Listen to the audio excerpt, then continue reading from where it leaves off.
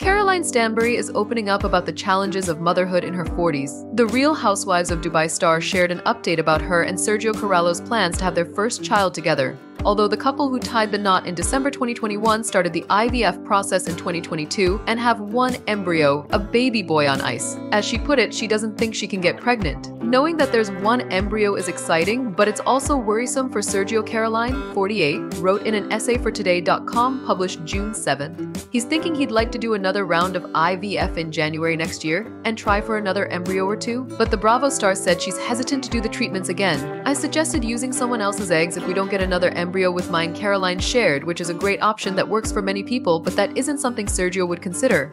He wants our baby to biologically belong to both of us. The reality TV star, who is a mom to Yasmin, 18, and twins Zach and Aaron, 14, with ex-husband Cem Habib, explained why she probably can't carry another child. I had preeclampsia with all my children, she revealed, and I got very sick with the twins. My children are against me carrying a baby because of the health risks for me. Admittedly, Caroline is undecided about whether or not she wants to try and get pregnant. My doctor thinks that I may be able to carry one more child dot dot dot, and I also feel the healthiest I've ever been, she explained, before adding, but moving forward with having another baby is a difficult decision at my age. She revealed that's what she and her 29-year-old husband tend to go back and forth with. As she put it, having a baby now would mean that while Yasmin is going to university, I'm about to go and look at nappies again. Since the couple hasn't made any concrete decisions about how they plan to expand their family, they are keeping their options open.